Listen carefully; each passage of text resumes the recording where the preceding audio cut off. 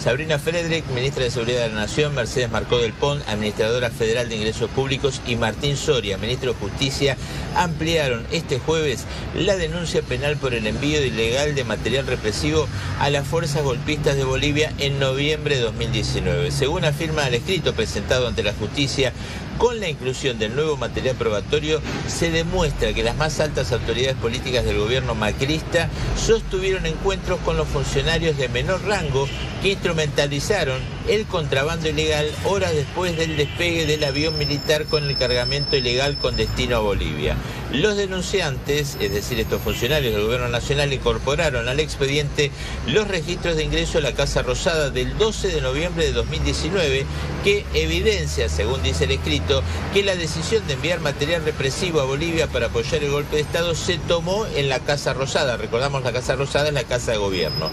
Los registrados, los registros, perdón, presentados en sede judicial dan cuenta que horas antes de la partida del vuelo con el cargamento ilegal de armas y municiones con destino a Bolivia, Mauricio Macri mantuvo dos reuniones trascendentales para la maniobra, siempre según eh, se explica en esta ampliación de la denuncia. Se imputa ahora entonces en esa ampliación el pedido a Marcos Peña, ex jefe de gabinete, al ex canciller Jorge Fourí y al ex secretario de Asuntos Estratégicos de la Nación,